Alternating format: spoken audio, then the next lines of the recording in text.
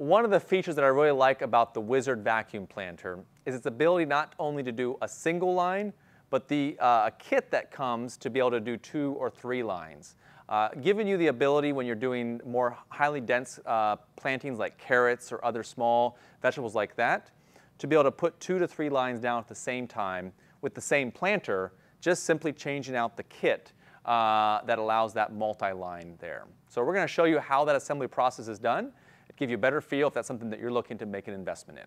So as you can see here, this is what's in the multi-line kit. Okay, so if you're going to retrofit your current uh, Wizard planter that does one row, but want to do a multi-line, which is either two to three uh, lines, this is what you're going to find in your kit. You're to have a different shovel and shoe. Uh, you're to have a different uh, housing plate uh, and the, the drops, as well as you're going to have to have different plates that have the multi-line uh, holes in them as well. Okay, so Dustin and I are going to show you a little bit about the process of how to change that out once you have all of the items here. Again, it's not a, uh, uh, a long process, but it's not something you're going to do on a regular basis. All right, so we're going to first um, take off this cover, um, remove the old cover and the plate uh, and the seed uh, system there. We're going to take off this shoe that drops down. Okay.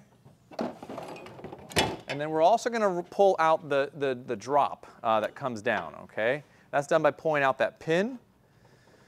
And as we get ready then, uh, we're going to put in a new C drop system. Okay, it's going to come up in uh, from the bottom. And we're going to put that pin back in the same hole. And the kit has a second pin that we're going to um, put in the second hole. All right. Okay, so we got the multi-line drop now. Um, we can then bring in the shovel, or little shoes that come up from down below. Uh, what we're going to try to make sure those hoses get lined up properly in the setup there. All right. This gets drawn in, and then that screw uh, pulls it up, okay? So we're not going to do more than that right now, but that's going to be what it is. And that gets drawn up to the depth that you want. All right. Now we're going to change out the face um, and the plate. So you're going to drop in the plate that's designed for the multi-line, which basically means it has two or three holes in it. And then we're going to add in that um, a different singulator. So uh, what we removed up there earlier was the singulation. This is the now the new singulation, which will help drop off any doubles or triples. And then the last step, which actually is pretty quick, uh, uh, just drop this in um, and I don't know. I think we're ready to drop two to three seeds down.